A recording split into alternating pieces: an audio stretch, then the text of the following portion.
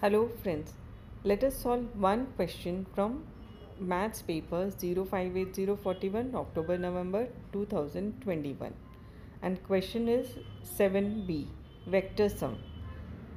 OABC is a trapezium and O is origin.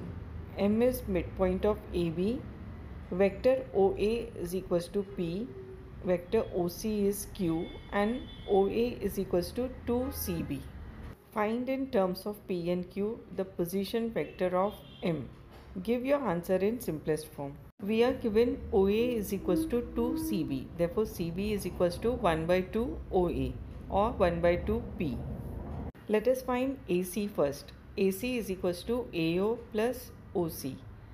That is minus P plus Q. We have taken AO minus P because we are given OA is equals to P. So AO will be minus P. Let us find AB now. AB is equals to AC plus CB. But AC we got minus P plus Q. And CB we have half P. So this comes to minus half P plus Q. Let us now find OM. OM is equals to OA plus AM. We have OA which is P and AM is half of AB. AB with, which we got previously as minus half P plus Q. So OM is equals to P plus half into minus half P plus Q.